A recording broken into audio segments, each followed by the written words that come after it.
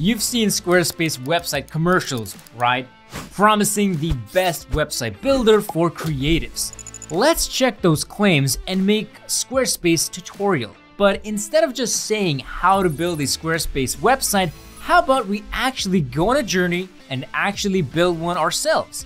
Just like the one you're seeing right now. Now, before starting this Squarespace website tutorial, we of course need to create a free account here. The trial will last for around 14 days and you can't publish your creation with it. You can do that, or you can jump straight ahead with a premium plan by using our best and most up-to-date deals in the description down below. Okay, a thing that Squarespace does a bit backwardly is that you have to choose a template already before even registering an account. I usually just pick any theme, register, and then start creating a website from there. Let's first talk about website templates, since it's kind of the main selling point of Squarespace. And to be fair, they have all the right to brag about them. These are very modern and stylish looking designs especially if you're looking to build a portfolio or an e-commerce website. This is your main dashboard, and Squarespace makes sure that everything your business or personal website might need is in one easy to navigate menu. You need analytics, it's right here. Do you want to launch some marketing campaigns? Just go to marketing. These are all extras that you can spend more time on once your site is finished. So for this tutorial, we need first to establish some global settings for our entire design. In the Design tab and then Site Styles.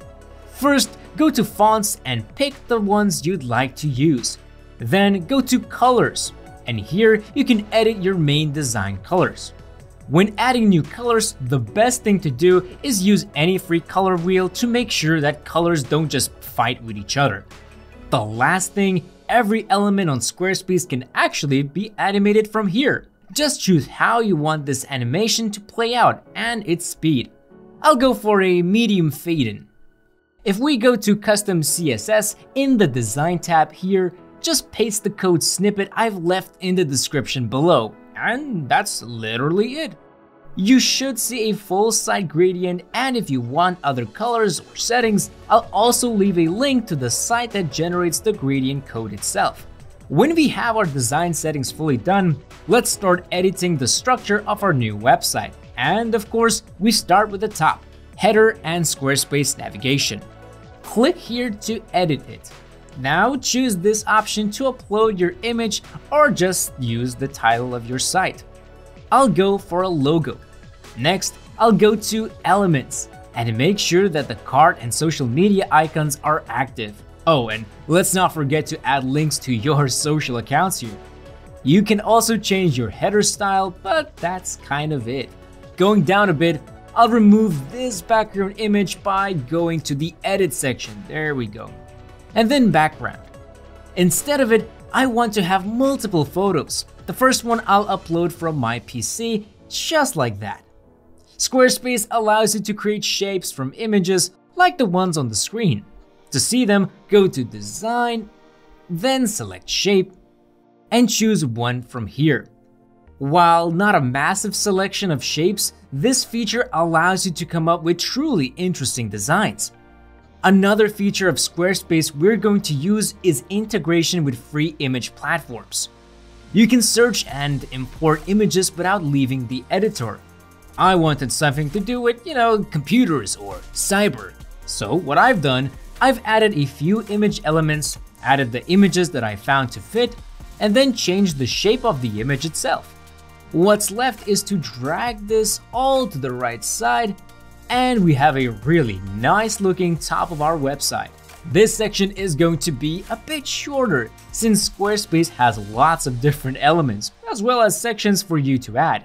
But all those elements don't have a lot of Squarespace customization options, which makes it really straightforward and even without experience, you can craft a complex looking design.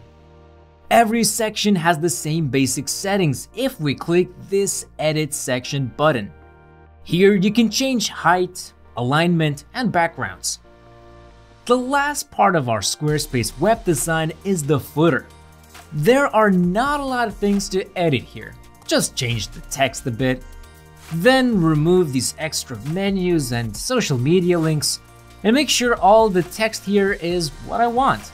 The final thing here is to add a background. I'm going to use the free stock image, maybe uh, this one. And that's a bit too colorful now. Uh, I'll move the slider to make the whole background darker. Just like that. We can scroll through our entire website to relish our creation. Lovely, isn't it? Overall, every page that you'll want to edit next will follow the same principles that we've just talked about here, so you shouldn't have any problems with that. But I need to show you how to manage pages. Go to the main menu, the pages. If you want to rearrange things, just click on the page name and drag it. If you hover on the page name, you can delete it with this little icon on the side. If you want to add a new page, for example, or a link, just click this plus. Squarespace allows you to add drop-down menus, blank pages, portfolios, or blogs. I won't go into details about adding a blog. It's a very, very straightforward system and you edit your post the same way you would edit on any other page.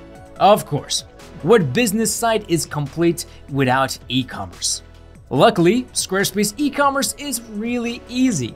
Go back to the main menu, choose Commerce, and you should see a startup guide.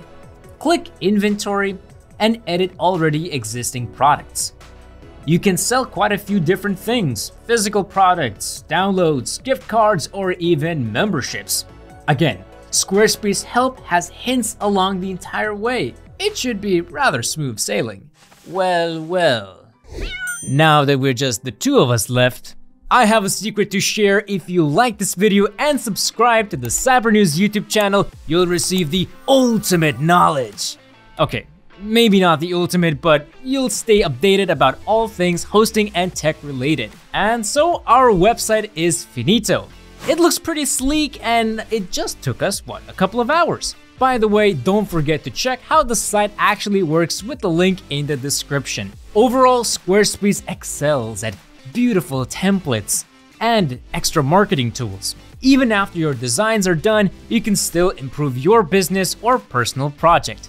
Thank you for your time on this Squarespace tutorial for beginners. If you have any questions, you can leave them down below. If you want to see another great video from us, you can click right about here. For anyone else, I hope your new website gets lots of visitors, and I'll see you all later.